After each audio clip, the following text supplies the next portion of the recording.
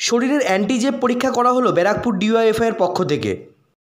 কেনাবেচা এখন আপনার শহরে। সমস্ত দৈনন্দিন জিনিস এখন ঘরে বসেই পেয়ে যান। তাহলে আর দেরি কেন? এখনই অর্ডার করুন কেনাবেচা ডট ইনে ব্যারাকপুর মণ্ডলপাড়া সিপিআইএম কার্যালয়ে ডিওয়াইএফআই এর পক্ষ থেকে সদ্য প্রয়াত বাম নেতা শ্যামল চক্রবর্তীর স্মরণে আয়োজিত হলো করোনা অ্যান্টিজেব পরীক্ষা শিবির।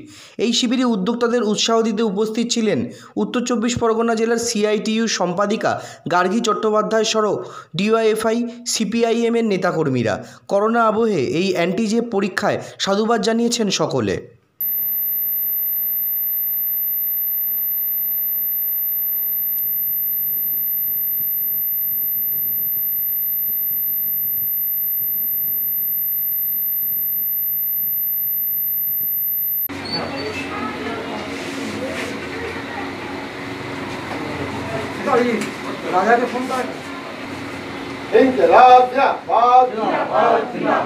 শ্যামল চক্রবর্তী অমর রহে।